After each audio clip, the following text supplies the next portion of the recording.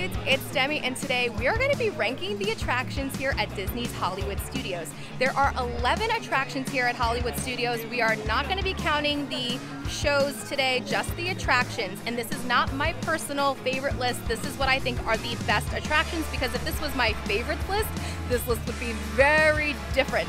So let's get in there, let's see the rides, let's rank them all, and let's go get into some hijinks. Something has to be in last place. And here, number 11, Alien Swirling Saucers is in last place. Alien Swirling Saucers is themed in Toy Story Land to the aliens from Pizza Planet. And it's basically just the whip, you know, that carnival ride, the whip. And the reason why it's in last place is just because it's a ride that's like in most carnivals. It's like a, a ride that's nothing. This is literally the most filler attractions of filler attractions. Though it is fun, I and, and the aliens are cute and kids do love this, I still think that since it's really nothing particularly special, um, it's definitely the last on the list. Um, you will still have a fun time on it.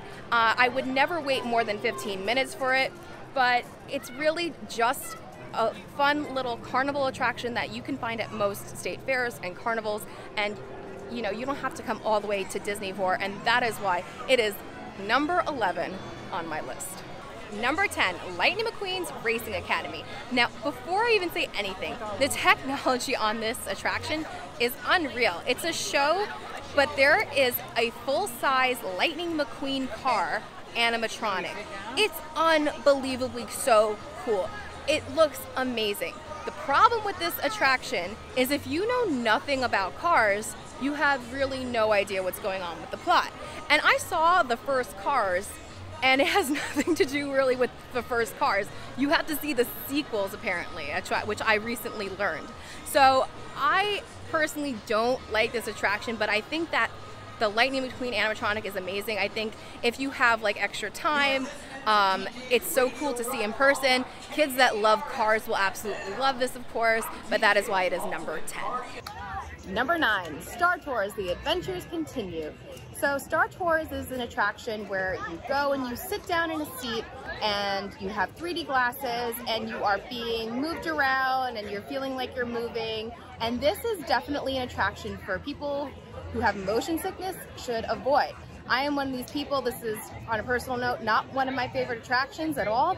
Um, but the reason why it's number nine is just because the technology is kind of basic. It's nothing really exciting. People even without motion sickness don't usually have a great time getting off of it either. It's It does really make you a little bit nauseous getting off. There's a lot of rerideability to this ride because there are 21 sequences that could happen, so you may never get the same one again. Plus, the best part, of course, is seeing who the Rebel Spy is on your ride and hoping that you get to be the Rebel Spy. However, if you're not a Star Wars fan, you may find it hard to follow the plot. I know when I go with one of my friends who doesn't watch Star Wars, she really does not enjoy this ride at all. She can't really follow what's going on, and then, of course, the ride system itself isn't that exciting. So, if you're not a Star Wars fan, this may not be for you.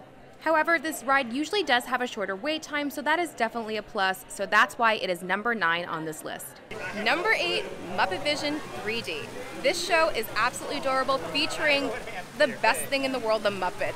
This show is about the Muppets discovering this new technology called Muppet Vision 3D and them trying to create a show in Muppet Vision 3D, and things just keep going wrong and hilarity ensues. On top of that, you actually get to see real live Muppets. You get to see animatronic Statler and Waldorf, you know, the two old men who sit in the balcony. They are there heckling the show.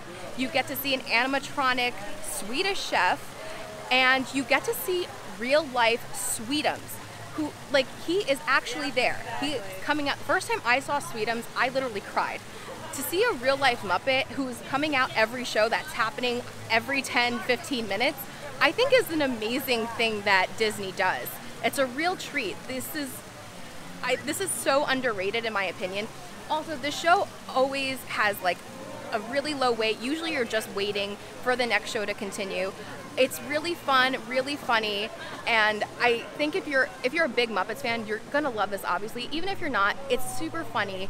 It's in the air conditioning. It's usually not a long wait, and I think it's just such a classic. And if they ever take this away, I will riot in the streets, and it just proves that there should be more Muppets in Disney World. So, and that's why I wish, honestly, if this was my personal ranking, this would probably be like my number two, but it's not. This is this is trying to be subjective here, but that's why it is number eight on this list. Number six, Slinky Dog Dash.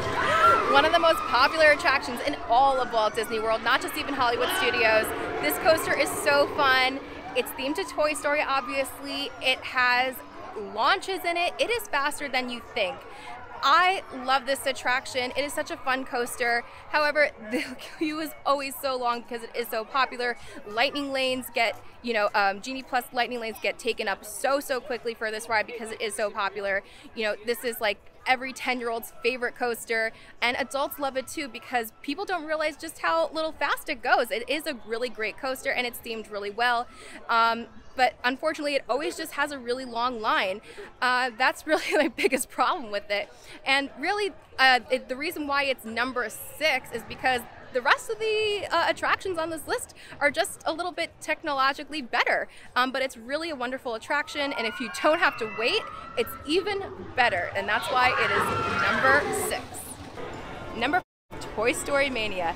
This ride is a ride and a game combined, and it has a zero height requirement, so the entire family can enjoy this. It's super fun. It's a pull string, and you do different types of carnival games like throwing plates and doing ring toss, and with your with your favorite Toy Story characters. Um, it you can like do competitively. It's different each time for you because you know you can go back and try different different way again. And I think it's like the best version of a ride game in Disney World. It's better than like Buzz Lightyear in my opinion. And it's super fun. When this first opened, the lines were out the door. And it's, you know, something that people can do over and over again. I find that the queue is just like the best thing ever. It's just so wonderfully themed. It's just, you see all the different types of games like all over the place. It's just a spectacularly themed ride. And that is why it is number five. Number five, Millennium Falcon Smuggler's Run. This ride makes your Star Wars dreams come true because you get to board the iconic Millennium Falcon.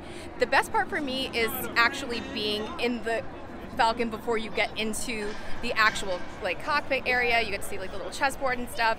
Um, this ride is really fun if you're the pilot because you get to pilot the Falcon. There's two pilots, two gunners, and two engineers. And yeah, when you're piloting the Falcon, it's great. They have a screen in front of you, so it's kind of like Star Wars, but a little enhanced. So it's like a Star Wars game type thing. But when you're the gunner and you're the engineer, like the gunner is just hitting a button over and over and over again, just like constantly hitting it, and engineer just hits a button every couple of times. It's kind of boring. The first time I ever did it, I was an engineer, and I was not impressed with this ride. And then the second time I did it, I was the pilot, and I was like, oh my god, wait, this ride is amazing. And then I finally had to do a gunner, and I was like, this is exhausting. So it really depends on your position. Uh, I think the technology is like, it's nothing like too exciting. It's been done before, but it's just like a little bit different. It's still like a simulator, so it's nothing too exciting. But um, it is super fun if you are the pilot. However, if you're not, it's to me not the greatest experience at all. Also, if you are not put in, if you are put in a party that is not your own, because if you are less than six people, you're going to be put in with a different party, and that might not be as fun because people are loud, uh, or like people you know may not vibe with the party you're with. I've, I've that's happened to me multiple times. But if you are with a group of six, maybe it will be way more fun for you. So it all really depends on the environment, what position you're in, so there's like a lot of factors that play into this ride, and that's why it's my number five pick. Number four, Rock and Roller Coaster featuring Aerosmith. This launch coaster goes 57 miles per hour in 2.8 seconds. It features the music of Aerosmith. There are four songs. You don't know which one you're gonna get. You know their song Love in an Elevator. They actually changed it to Love in a Roller Coaster, so that's cool. I think that's extra points. Um, the only problem I have with this ride is that sometimes it's a little shaky, um, but otherwise it's super fun. It's a little loud sometimes. Sometimes it's not. Like depending on the car you get. I don't know. I always have that experience. There is a single rider line which I really enjoy because sometimes it makes it go a little bit faster. Um, sometimes it doesn't either. I don't know. It always depends for some reason. The pre-show was fun. You get to see Aerosmith, and their whole point of this ride is that you're watching them record, and then they're like have to go to a concert, and then they were going to leave you behind, but then they realized, hey, how about some backstage passes? And then they're going to take you in a super stretch limo to their concert. It's fun, it has a fun little theme to it, and it's a super fun coaster. It's the fastest coaster in Disney World, and that is why it is number four. Number three, Mickey and Minnie's Runaway Railway. Can you believe that this was the first attraction to ever feature Mickey Mouse? Mickey's PhilharMagic does not count. This is a moving vehicle attraction. This is a trackless ride. It's so cool. You have no idea where you're going. When you sit in a ride vehicle in this ride, you have, like, it changes every time. I have sat in almost every seat on this attraction and I've had a different experience each time. You are going through a Mickey cartoon, you go through different scenes. It's really an amazing attraction technologically. And you have the wonderful song at the end, Nothing Can Stop Us Now. It's so adorable, so beautiful. Um, personally, it's not one of my favorite attractions, but I really do appreciate the technology behind it. And I think that it's really cool how it's a different experience each time. And I can't, I still can't believe that this it took this long for Mickey to get his own attraction. Um, a lot of people were sour when this came and replaced the Great Movie Ride. So a lot of people, you know, are anti Runaway Railway. So let me know in the comments what your opinion on Runaway Railway is, and if you think it should have replaced the Great Movie Ride, or if you missed the Great Movie Ride. But you cannot deny the technology on this is amazing and what they did with the storytelling is amazing and that is why it is my number three pick. Number two, Tower of Terror. Personally, my favorite attraction, my spooky heart loves it. The theming on this ride is just unbelievably spectacular. It really sets the mood as soon as you walk in. That lobby is unreal. The music is really unbelievable. Think the choices were perfect that pre-show with Rod Serling really puts you into the Twilight Zone. The cast members do an amazing job to make you feel like you are checking in and really put a little fear.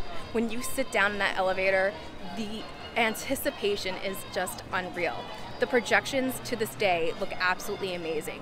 The Disney World version, this version in particular, is the version that the car actually moves forward. That's how, like, that's the one in Disneyland. I know it's Guardians of the Galaxy now, but their track does not move forward; it only goes up and down.